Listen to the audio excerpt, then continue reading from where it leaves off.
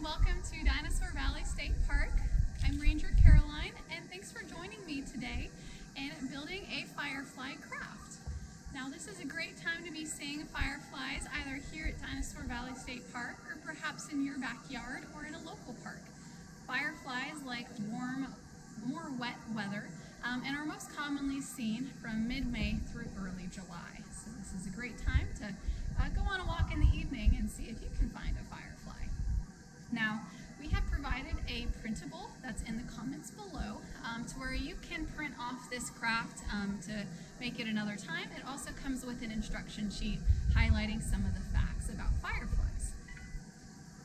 You will need a plain water bottle that I've taken the wrapper off um, and the mouth of the water bottle will be the mouth of our firefly.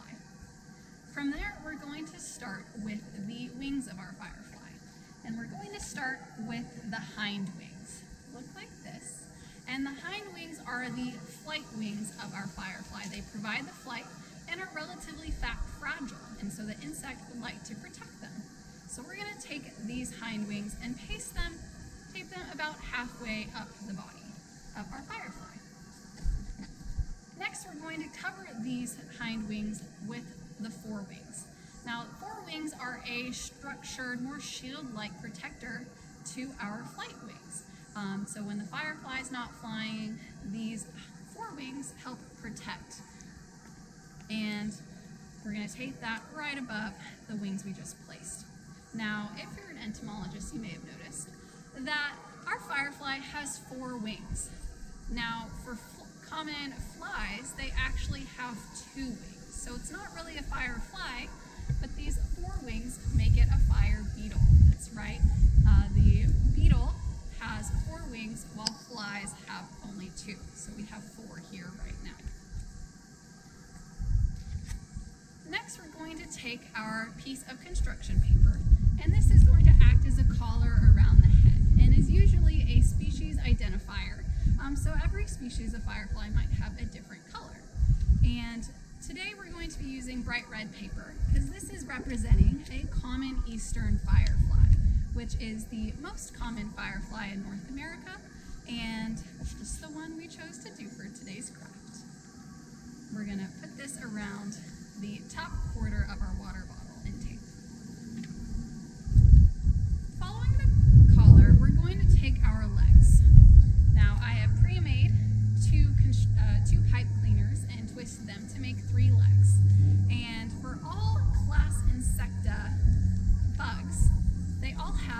legs, and our firefly does fall into that class. So we're gonna just take those legs about halfway where you think legs should go to support our firefly.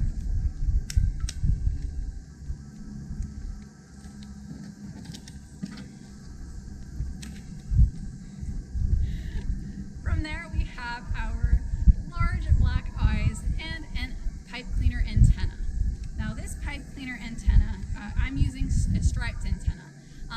represent the common eastern firefly. But you can use any pipe cleaner you like. I encourage you to be as creative as possible when you're making your firefly. And we have our large black eyes. Now why do you think these large black eyes are so important? It's because our fireflies are, are nocturnal and they're trying to see in the dark. And not only are they trying to see in the dark, they are trying to look for flashes of other fireflies. Large black eyes help them see better in the dark and pick up those flashes. And we have our striped antenna.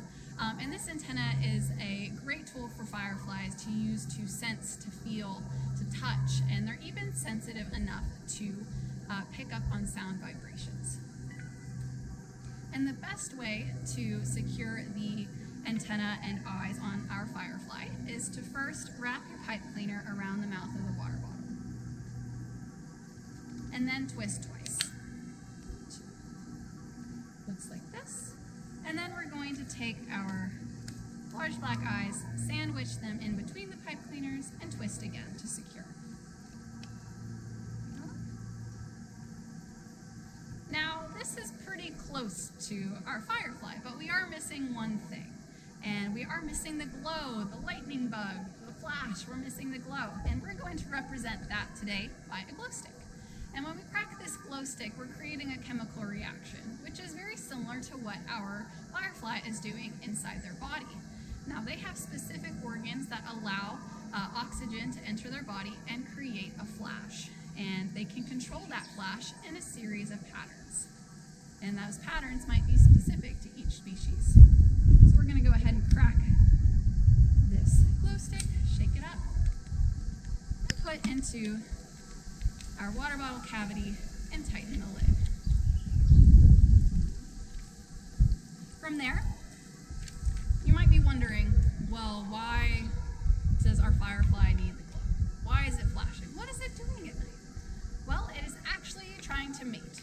And that firefly's flash is a specific species indicator that is uh, common to both the male and female. So they're knowing what their flash pattern that they're looking for. Each species has a slightly different flash pattern. And for some species, males will be the ones flying around uh, and the ones that you see flashing at night in the air, whereas the females will hang out in tall, long grass to where you won't see them. But they're looking for the male fireflies. And when they see a flash pattern that they like, she will flash and respond in kind, and then the male will join her. The female firefly will then lay her eggs in the soil, and in about two weeks, those eggs will uh, hatch into larvae. And those firefly larvae are going to hang out into the soil for at least a year, if not four total years. And when the, uh, their species timing is right and that they feel that it's warm enough and wet enough for their environment, they will uh, form into their pupa stage and then finally into their adult form of firefly. Now, when you see an adult firefly flying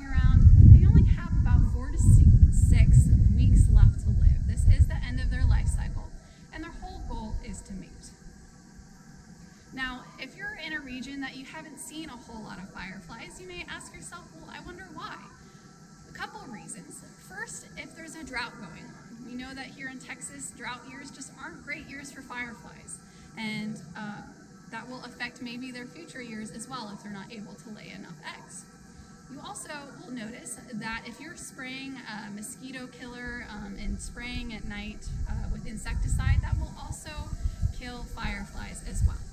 And then lastly, light pollution also affects our fireflies. So if you're hanging out in the backyard with all the lights on, before you go to bed, how we, we turn those lights off. That way our fireflies can see better at night and you can see the fireflies better as well. Thanks for joining us today and watching this fun craft. I hope that you enjoyed yourself. Let us know in the comments uh, what you thought and if you did this craft, let us know what your craft ended up looking like. Uh, and thanks for joining us and I hope that we're able to see you out here at Dinosaur Valley soon.